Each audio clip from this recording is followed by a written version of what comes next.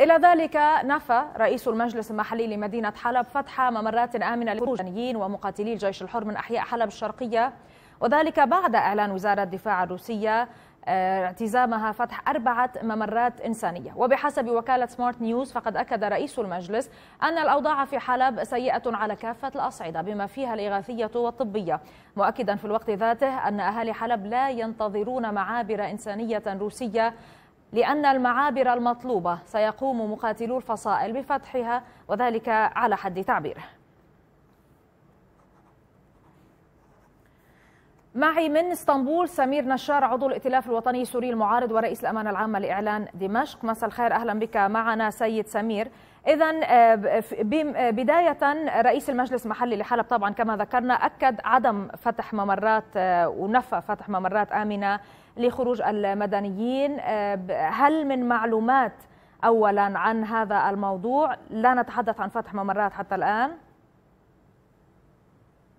أنا بعتقد هذا الموضوع آه، حاليا سابق لأوانه لأن هناك مشاورات بين الأمم المتحدة وبين الحكومة الروسية حول الجهة التي سوف تكون مشرفة ومراقبة للممرات الإنسانية. لكن دعيني أقول وهذا ما كنا نتوقعه من السيد ديمستورا أنه يفترض الأمم المتحدة السيد ستيفن أوبراين هو المسؤول أو آه، مساعد الأمين العام للأمم المتحدة للشؤون الإنسانية هو المسؤول عن هذه القضايا المتعلقة بالمدنيين وبالإغاثات نعم. وبالمساعدات نعم. كنا نتوقع من السيد ديمستورا وهو وسيط دولي ويعنى بالشأن السياسي لأن القضية السورية في جوهرها هي قضية سياسية وليست قضية إنسانية. م. أن يطالب بتنفيذ القرار 2254 وقف القصف ورفع الحصار وليس تأمين ممرات إنسانية لخروج سكان مدينة حلب. طيب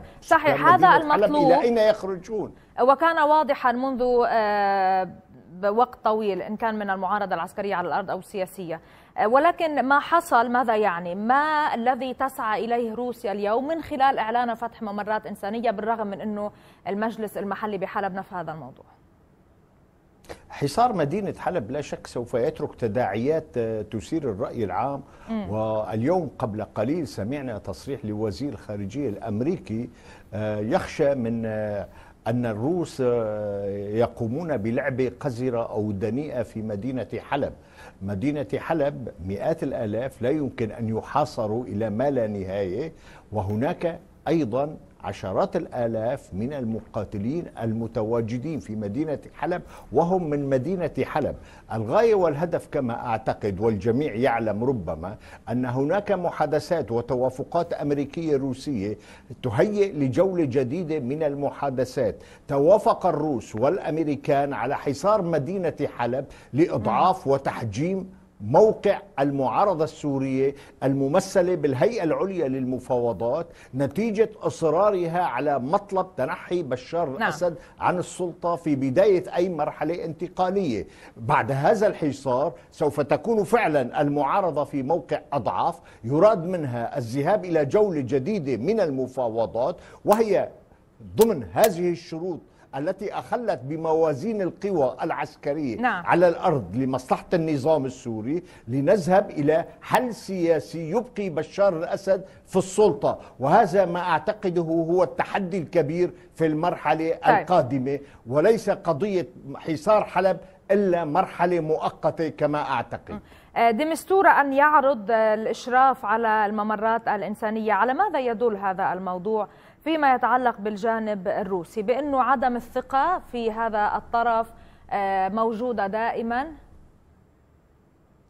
أنا أعتقد أنه هناك آه، ضغوط سوف تبدأ بالتشكل ضد الحكومة الروسية وضد آه، مساعدة الروس للنظام السوري في خاصة في التغطية الجوية الكثيفة والعنيفة وخاصة على أحياء حلب المحررة والتي دمر قسم كبير من أحيائها وقتل الكثير من المدنيين من النساء والأطفال خاصة أن القصف استهدف في الآونة الأخيرة جميع المراكز والمشافي الطبية مما يعني نعم. بقاء عشرات الآلاف ومئات الآلاف من السكان المدنيين بدون مراكز وخدمات طبية وإغاثية في ظل هذا القصف الهمجي والوحشي الذي لم يسبق له مثيل. أعتقد أن هذا التشكل الرأي العام سوف يبدأ بالضغط والبارحة. آه، سمعنا بتصريح فرنسي وبريطاني موجه إلى الحكومة الروسية لرفع الحصار عن مدينة حلب،